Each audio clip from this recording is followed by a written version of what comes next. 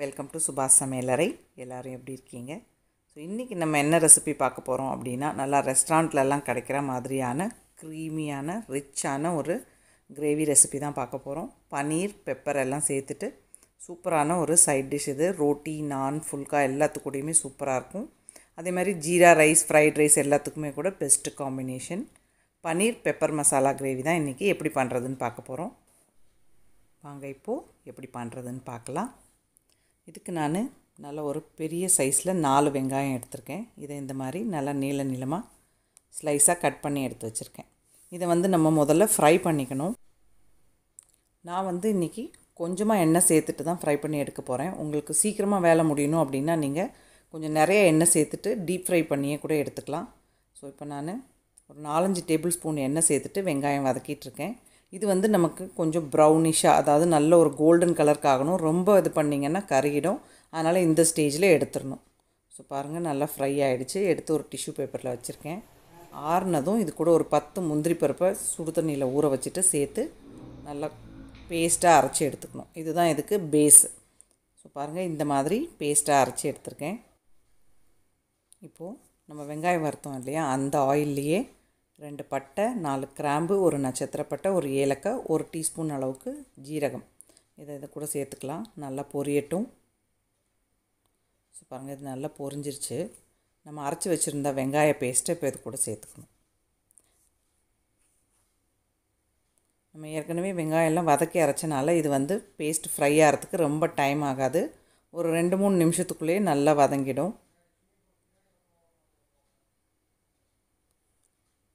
இது கூட இப்போது ஒரு டேபிள் ஸ்பூன் அளவுக்கு இஞ்சி பூண்டு பேஸ்ட் சேர்த்துக்கலாம்.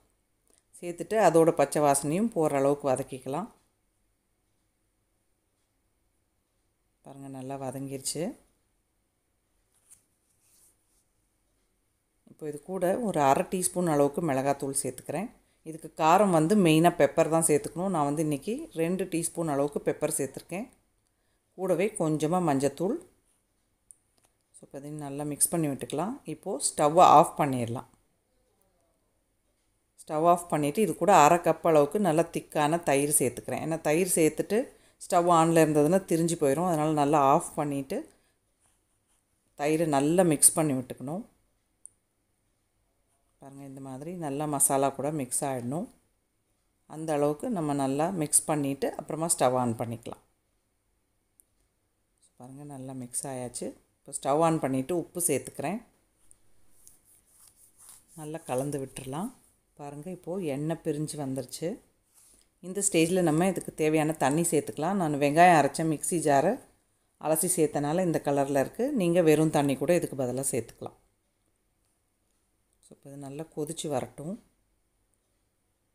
இப்போ கூட டேஸ்ட் பேலன்ஸ் பண்ணுறதுக்கு ஒரு டீஸ்பூன் சர்க்கரை சேர்த்துக்கிறேன். மூடி போட்டுட்டு ஒரு ரெண்டு மூணு நிமிஷம் அப்படியே விட்டுறலாம்.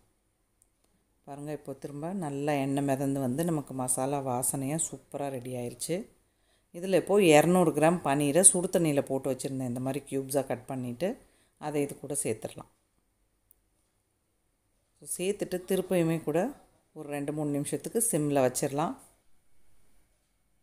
ஸோ பாருங்கள் கிரேவி எவ்வளோ சூப்பராக ரெடி ஆயிடுச்சுன்னு இப்போ லாஸ்ட்டாக இது கூட ஒரு ரெண்டு மூணு டேபிள் ஸ்பூன் அளவுக்கு ஃப்ரெஷ் க்ரீம் சேர்த்துக்கலாம்.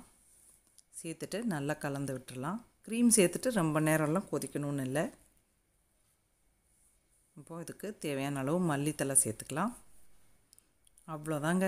பாருங்கள் சூப்பரான பன்னீர் பெப்பர் மசாலா ரெடி ஆகிடுச்சு நான் வந்து இன்றைக்கி jeera rice and gobi sixty five கூட சர்வ் பண்ணுறேன் நம்ம சேனலில் ஏற்கனவே கோபி சிக்ஸ்டி ஃபைவும் ஜீரா ரைஸும் இருக்குது ப்ளேலிஸ்ட்டில் செக் பண்ணிக்கோங்க.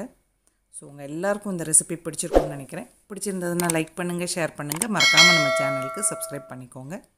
இவ்வளோ நேரம் இந்த வீடியோ பார்த்தவங்க எல்லாருக்கும் என்னுடைய நன்றி. வணக்கம்.